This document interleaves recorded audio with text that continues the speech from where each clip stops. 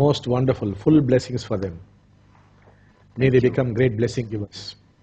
Yes, thank you, Bhagavan. Yes. Our Diksha giver, Madhuri, are going to Hmm. to tell the question, to ask the questions, okay, Bhagavan? Okay, perfect.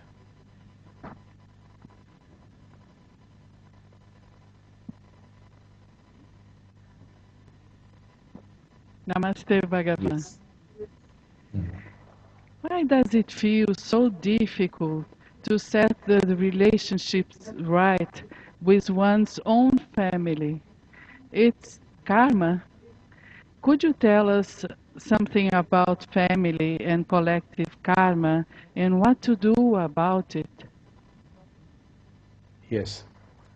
This problem of a relationship must be handled at three levels. At the first level, you could use the teachings. Now, very often we have bad relationships because we have been conditioned wrongly and we do not have certain insights. So, the teaching would help you there. For example, the teaching says to have good relationship, start with yourself, not with the other. See who you are, accept yourself as you are, and love yourself as you are.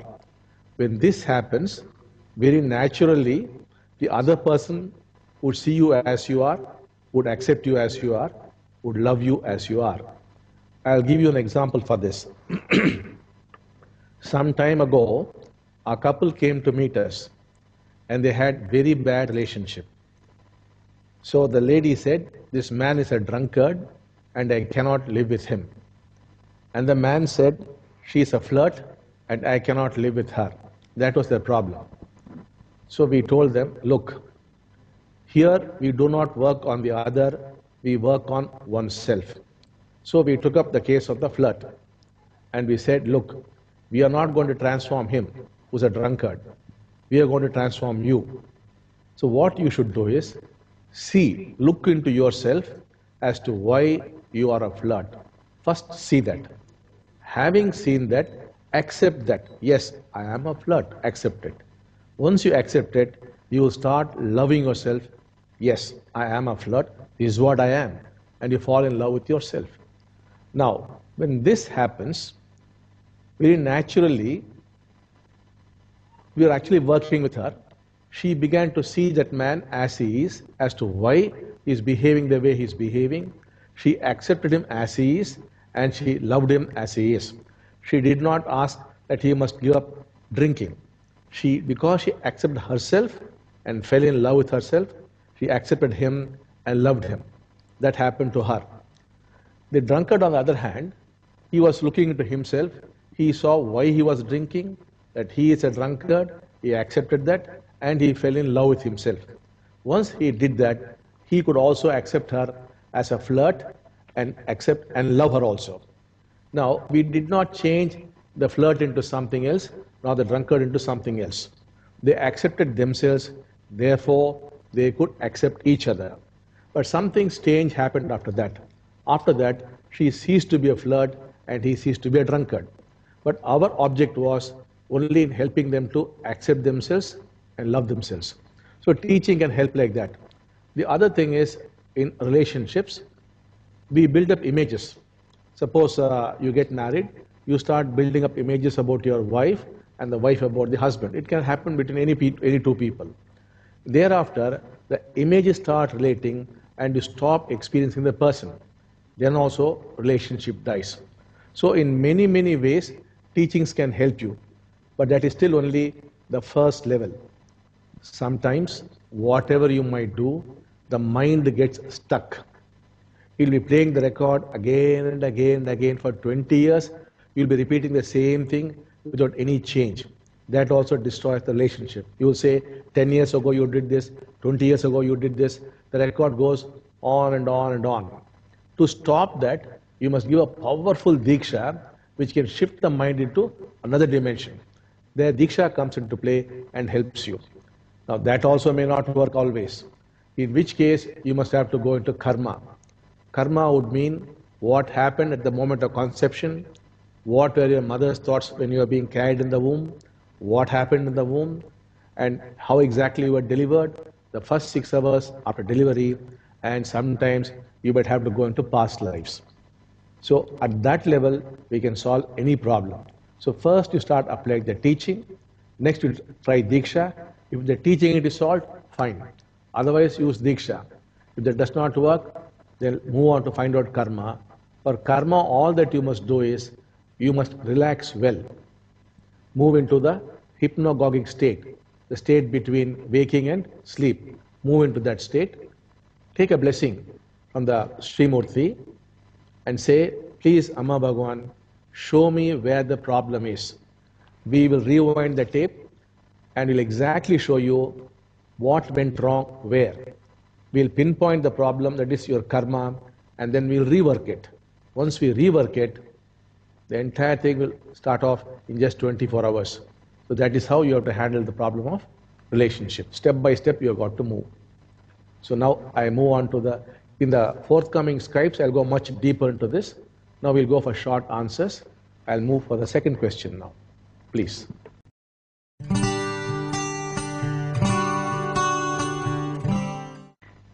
Some people, when trying to experience the pain, it seems that are only analyzing it, not experiencing it.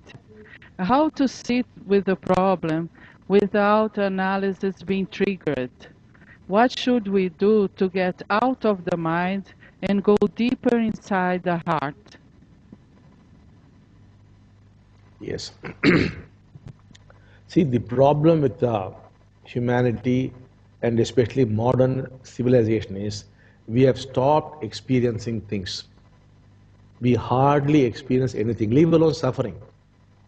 Nothing is being experienced. When you drink a glass of water, you're not experiencing it.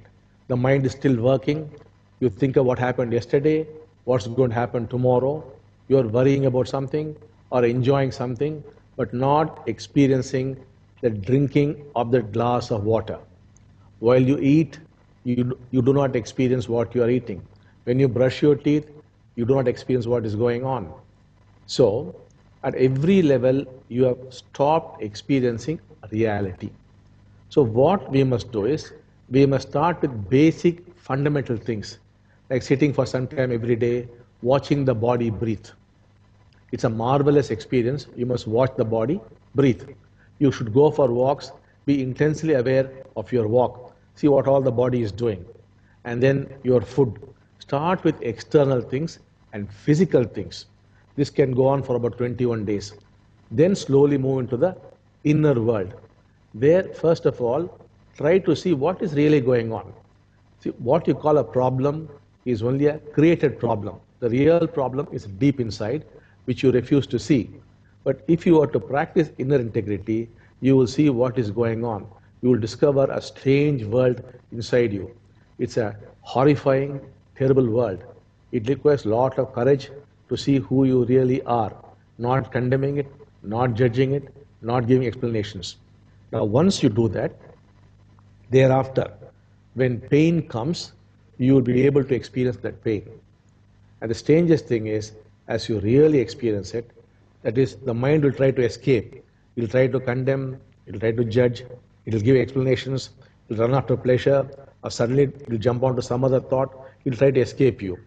If you watch it escaping, if you've done all the previous practices, and if you watch it experiencing, you will suddenly discover that you are experiencing suffering. And in moments, you will see it converts itself into joy. Something very amazing happens. It looks difficult, but it is not really difficult. If you start with the physical experiences and inner integrity, it becomes quite easy. Thousands of people have done this all over the world, and I'll give you a special blessing whereby it will become very, very easy for you. That's the answer for the second question. So now shall we move to the third question? Beloved Bhagavan, we miss Amma.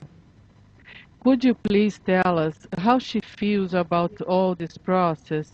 We feel her presence.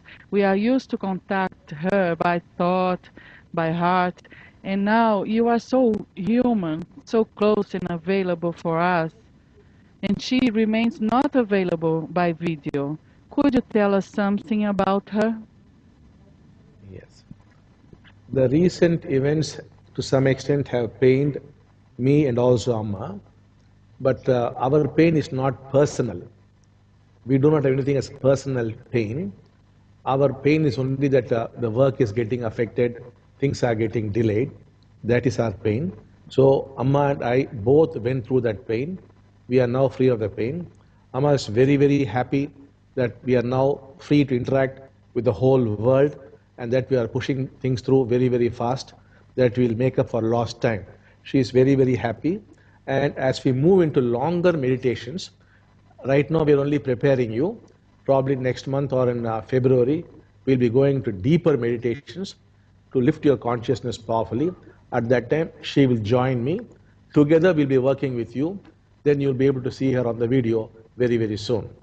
So, full blessings to you. Oh, thank you, Bhagavan. Send please our love to Amma. So, I will communicate. So, shall we now go for a three minute meditation? Yes, Bhagwan, thank you very much. And please give your blessing to the new Diksha givers and receive our I love. will give them. I love them all. I give them a strong blessing.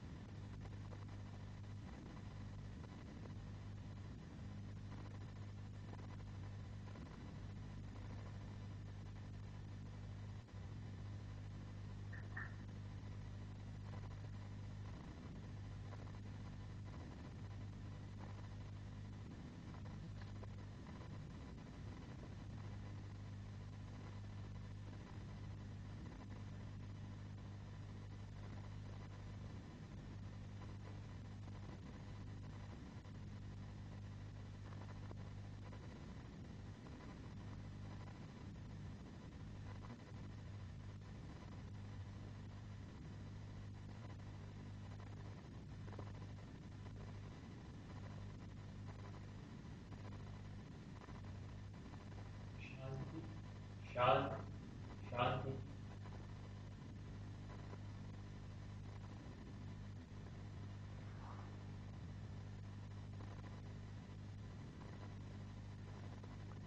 Love you all. Love Bhaskar ji. Thank you all. We Thank love you, you, Bhaskar ji. we love you, we love you. Thank you. Thank you.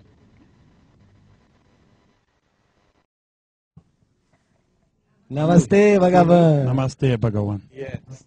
Love you all. So, Marco, shall we start now? The first question. Yes, Bhagavan. We realize that we return from it. When we return from oneness in India, we are in a state of grace. Even some people are in a state of enlightenment. But over time, the power goes down.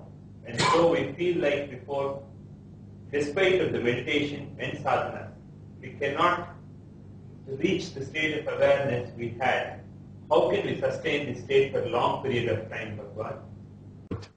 Quando nós, quando nós fomos à Índia e quando regressamos, nós alcançamos um estado de iluminação, um estado de graça muito grande.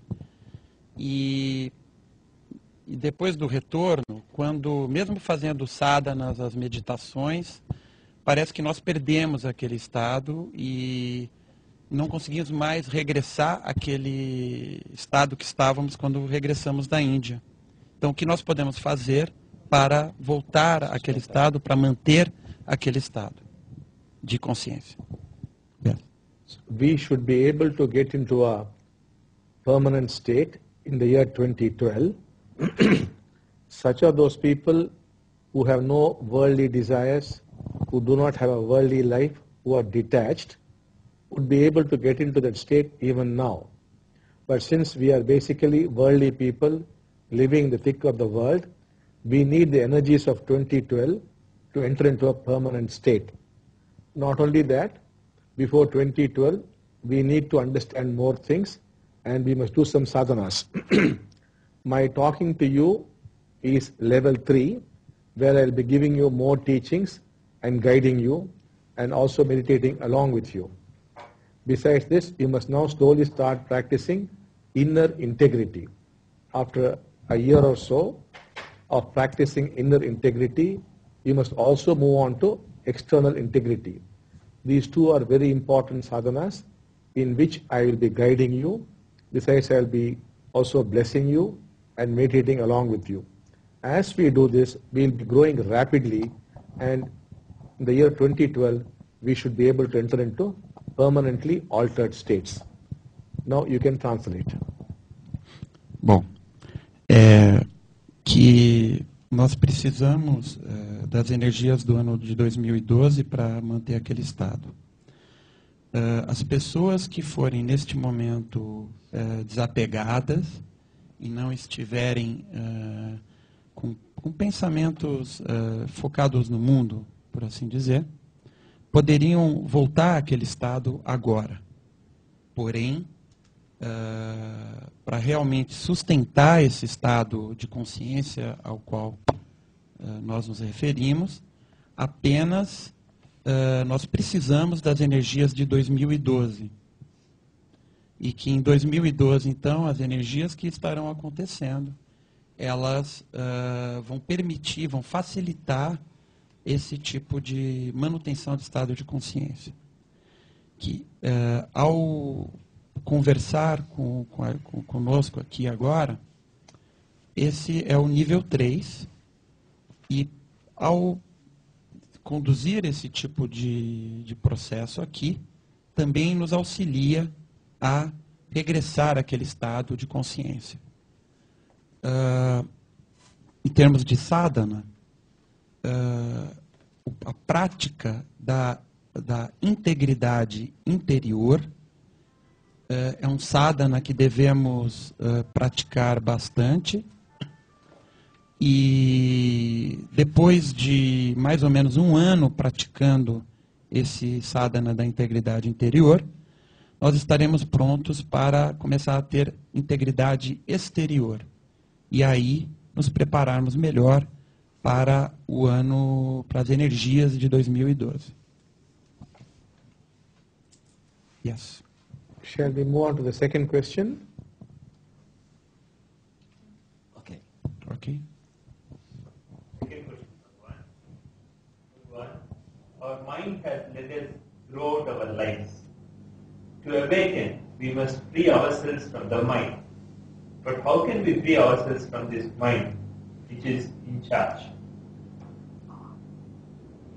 Yes, would you translate the question? É, para. Eu não escutei bem. Não, não, sim, mas as palavras. Bom, é, em termos gerais, a pergunta tem a ver com a, com a mente e uh, que nós aprendemos que para nos estarmos em unidade, para nos, para nos elevarmos, nós precisamos estar uh, livres da mente. Mas como é que nós podemos nos livrar da mente se nós vivemos na mente, se nós vivemos aqui no mundo? Que ela está no controle. É yes, yes. please. The first thing to realize is it is not your mind or somebody's mind, it is the human mind. We think it is our mind, well, it is not really so. That's why we call it the one mind. All mind, whosoever's mind it is, that one mind has fear at its center. Fear is the core of the mind. Not only that, mind is nothing but the flow of thought from the past through the present into the future. This is what the mind does. And mind has got jealousy, anger, envy, lust, desire. All these things are the qualities of the mind. No matter whose mind it is, they have the same qualities. So the first thing is to realize that all mind is only one mind. Let us say you have tuberculosis. You cannot say this is my tuberculosis or her tuberculosis. Tuberculosis is tuberculosis. So the mind is the mind. There's not your mind or his mind or her mind. There's just the one mind with those qualities. This we must first realize. Next we must realize that this mind is very, very ancient. It's as old as man is. It has not changed at all. The brain itself has changed very little and the human mind has virtually not changed. So the ancient man had fear of the tiger or the lion or something. And modern man has fear of the share market, of his job, or losing his girlfriend. So whatever it is, it's the same thing. The ancient man desired for a spear, you desire for a car, or for a house, or some such thing. So it's the very same mind, only the object of fear or object of desire has changed. So you must realize this is an ancient mind. Not only is it the one mind, it's also the ancient mind. Like now sugar has some qualities, like it tastes sweet, specific gravity is something, its specific heat is something. Now if you take salt, it has its own taste and its specific gravity is something, its specific heat is something. Those are the qualities of salt, those are the qualities of sugar. Sugar you cannot make it into salt, nor salt into sugar. Similarly, these are the qualities of the mind as designed by nature, as designed by your brain. There's nothing you could do about it. When it strikes you like a ton of bricks, that it is impossible to change the mind. It must really strike you, not intellectually, not even as an insight, but actually you must see that the mind cannot be changed. It was, it is, and will be the same. Maybe when the brain changes tomorrow, it could change.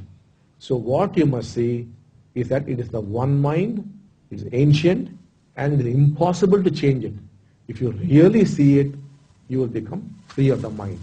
It will no more trouble you. It will be there, but it will be working on its own. It will no more impinge on your consciousness. It will no more take charge. It will no more trouble you. It's like a stranger uh, living in your house. It will be there working on its own. It won't bother you. Now, the next part of your question is, who is then in charge? Your consciousness is in charge. Conscious consciousness knows how to respond to different situations. Not the mind, but consciousness takes over. The mind generally reacts to situations. Consciousness responds. When the mind does something, it will go back and think, did I do the right thing or the wrong thing? When consciousness responds, you do not go back and think whether it was the right thing to do or the wrong thing to do. Whatever consciousness does, it is perfect. It will take over. And there will be no problems at all when consciousness functions. When the mind functions, the mind being divisive, it creates problems. We will go into it up to this point. Next time in the next Skype, we'll go deeper into it. Please translate. Bom, eh, nós precisamos perceber que a mente, eh, não existe a minha mente, ou a sua mente, ou a mente de alguém, ou a mente de uma outra pessoa, mas que existe apenas a mente da humanidade. E é isso que existe, a mente da humanidade, que é um fluxo contínuo de pensamentos que flui do passado, eh, está aqui no presente e vai fluir para o futuro. a partir da hora que nós percebemos isso, percebemos também que a mente ela é muito antiga e por ser muito antiga, uh, a mesma coisa que os homens de milhares de anos atrás sentiam, nós sentimos hoje. Uh, o mesmo medo que os homens do passado sentiam, nós sentimos hoje. Uh, o homem do passado sentia medo de um leão, de um animal selvagem, de um tigre. E o homem de hoje, ele sente medo do mercado, da crise, ou de qualquer outra situação que nos aflige. Uh, da mesma forma, o, o desejo está também na mente. Ou seja, você não pode. É, se você. E a mente tem qualidades. Essas qualidades são, por exemplo, ele dá o exemplo da qualidade do sal. O sal é o sal, o açúcar é o açúcar, e não dá para nós alterarmos as qualidades do sal, nem as qualidades do açúcar. Da mesma forma, a mente humana, ela é desta forma, como ela foi desenhada pela natureza, como ela foi desenhada de acordo com a mente humana. A mente não pode ser alterada é isso que precisamos perceber. Se no futuro houver uma alteração na, na forma como o cérebro humano é desenhado, a, a, a mente poderá se alterar, mas apenas desta forma. Portanto, o que nós precisamos compreender é que existe apenas uma mente, que é a mente antiga que é a mesma mente em toda a humanidade. Se você consegue ver esta realidade, você conseguirá se libertar uh, da mente. Uh, com relação a uma a segunda parte da nossa pergunta, uh, a consciência está no controle. Ou seja, não é a mente que está no controle, mas é a consciência que está no controle a mente humana, a mente da humanidade, ela reage e a consciência responde. Uh, qualquer coisa que a, que a consciência responda é perfeita e está ok, porque esta é a qualidade da consciência. Uh, por enquanto é nesse ponto que ele vai parar num próximo, numa próxima conferência pelo Skype, nós então é, poderemos ir mais prof, profundamente nesta questão. Please continue. Shall we move on to the next question? Yes, please. Yes. One. To what extent the state of consciousness affect the power of our Diksha? if we are, for example, with some suffering, is that going to affect the transmission of Diksha and its flow? You personally told us about your great hope for the Brazilian collective awakening. How can you help us, the Diksha givers of Brazil, to accelerate our awakening? We would like to ask you for a Diksha to all uh, Brazilian Diksha givers for 21 days to help our collective awakening. Can you can this help us to awaken us immediately? Up to a certain point, no matter what your suffering is, it will not affect the Diksha. That is, your negative condition, your suffering, will not affect your act of giving the Diksha.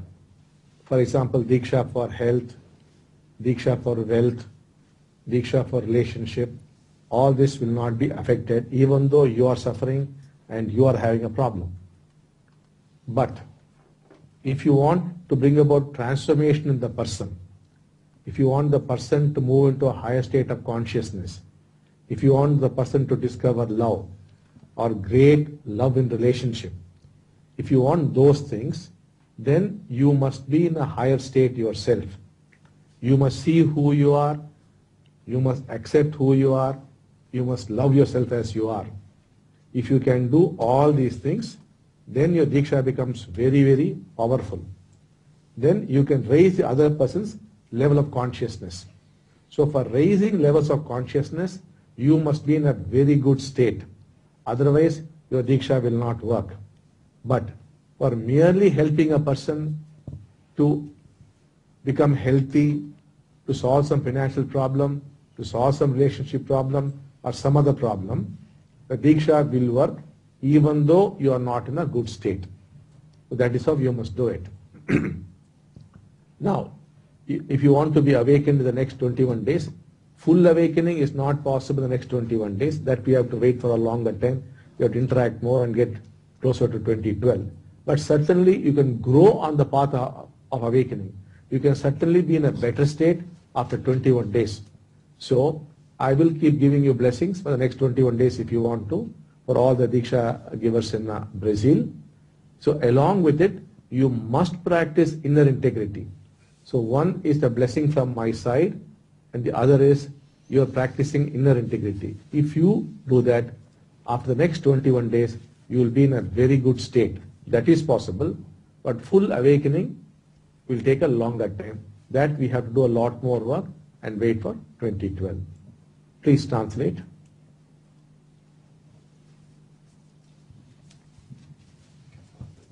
Yes, please. Não deu para ouvir. É, bom, a pergunta, é, eu não, não conseguimos ouvir bem a pergunta. não, sei se, não sei se alguém conseguiu anotar a pergunta aí. Não deu para escutar, mas. É, não, a- genericamente eu sei. É, não. Não, é, genericamente sim, mas o escrito assim, tá, tudo bem. Bom, é,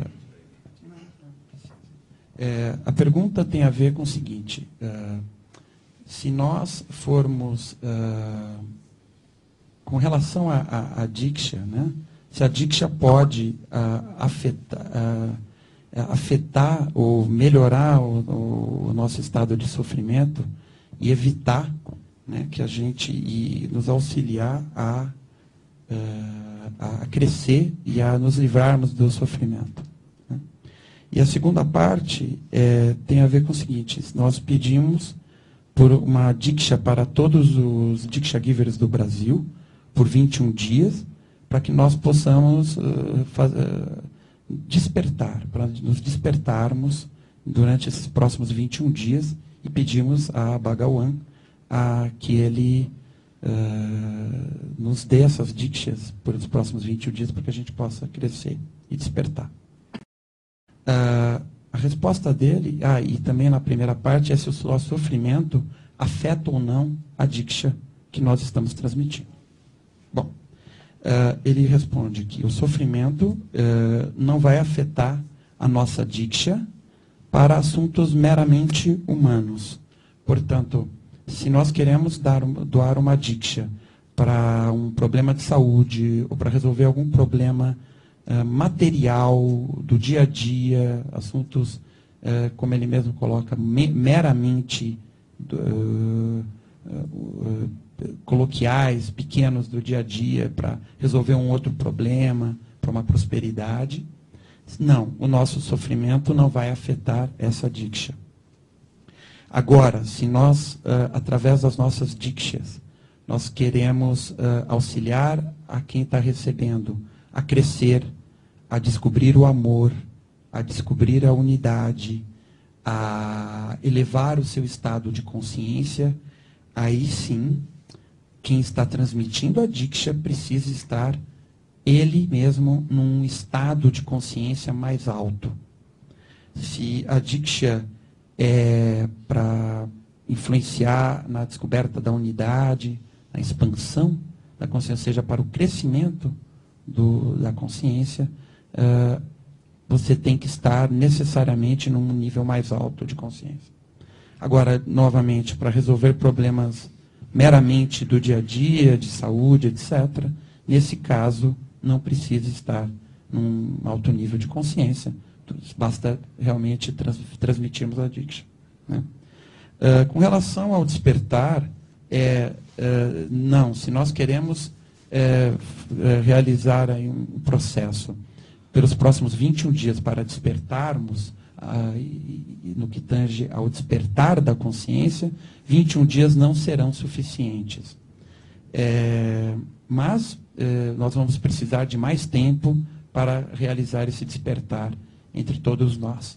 21 dias não serão suficientes. Mas, se nós quisermos crescer, sim, o crescimento é possível nesses próximos 21 dias, e ele vai estar uh, mandando, enviando dikshas para todos os diksha givers do Brasil, para que nós possamos crescer durante esse período. Uh, muito importante é que nesse período todos pratiquem a sadhana da integridade interior. E através apenas desse sadhana da, da integridade interior é que nós vamos realmente conseguir crescer. We can, we can move now, please. Yeah. Shall we now, the questions are over. Shall we now move into three minutes meditation? Então, podemos agora realizar uma meditação. Bhagavan, eu só queria dizer que nós estamos aqui com seis novos Diksha Givers iniciados aqui no Brasil. Então eu queria apresentá-los para você e gostaria que você desse uma bênção especial para esses novos Diksha Givers. Vocês poderiam ficar de pé, por favor, vocês? Ou levantar as mãos, acho que levantar as mãos. Levantem as mãos, por favor. É, ba Bhagawan, uh, we are, uh, Marcos just would like to tell you that we have six new Diksha Givers. that were initiated uh, last uh, Thursday. And uh, he is asking these people to raise their hands. And we, he is asking for your blessings to these new Diksha givers that were initiated last Thursday here in Brasilia, Brazil. I will give them a very strong blessing now, and they'll become powerful blessing givers. I'll do that now. So while we are meditating, I will also do that. Ele vai. So shall we start meditating now? Yes. Ele, okay. ele, nós vamos todos meditar. Enquanto estivermos meditando, ele vai, ele vai mandar enviar dicas especiais para vocês seis, para que vocês, suas dicas sejam bastante poderosas. Vamos começar agora. Yes, please, Bhagawan.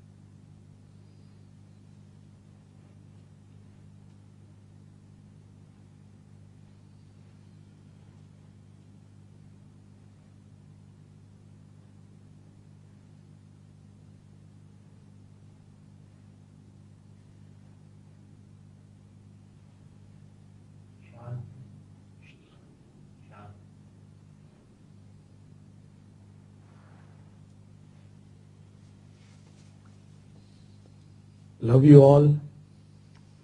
Love you, Marco. Thank you.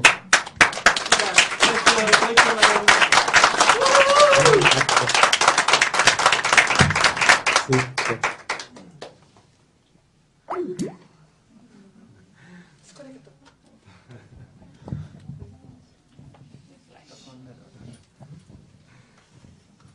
E aí, o que vocês acharam? A ideia de, de Bhagavan, não sei, isso tudo pode mudar, que as coisas estão mudando tão rapidamente que não dá pra gente. Acho que não precisa não, né, do microfone? Não. As coisas estão mudando tão rapidamente que a gente não pode nem dizer o que vai acontecer. Mas num dos primeiros chats que Bhagavan deu, ele disse que ele faria isso uma vez por mês. Né? Que esse uma vez por mês seria esse nível 3, que cada meditação dessa iria potencializar a nossa diksha. E, e ele ia sempre dar essas instruções. Então, para que a gente fosse preparando nossas perguntas, né, a gente tem que mandar as perguntas. São três perguntas por cada vez que ele, que ele aparece, então, sejam perguntas. E ele disse que as perguntas devem ser o mais genéricas possíveis, né, é, voltadas ao crescimento, voltadas ao, ao despertar da consciência da humanidade, né, ou alguma questão fundamental de si próprio que pode ajudar os outros também, né? É uma coisa que pode ser comum a todas as pessoas. Então, ele pediu para que essas perguntas fossem feitas assim. É, aproveitar esse momento para fazer uma pergunta mais profunda. Né? Eu estou indo amanhã, estou viajando para a Índia, vou, a gente vai fazer um curso de, com os coordenadores do mundo, nós vamos ter com o Bhagavan fazer um curso. E eles vão nos, nos dar algumas instruções de como eles vão querer que se faça o, a, o curso de iniciação aqui no Brasil. Então, no, há uns, umas duas semanas atrás, ele, ele disse, olha, daqui a três dias vocês poderão iniciar pessoas aí no Brasil, então os instrutores já estão autorizados, vamos fazer um ritual aqui na Índia, nós vamos fazer vários rituais aqui e eu vou mandar uma dica especial a vocês para que vocês possam iniciar pessoas aí. E aí a primeira pergunta que foi, não, meu Deus, o que nós vamos fazer, né? Que curso que nós vamos dar? Não temos curso preparado nenhum e tal.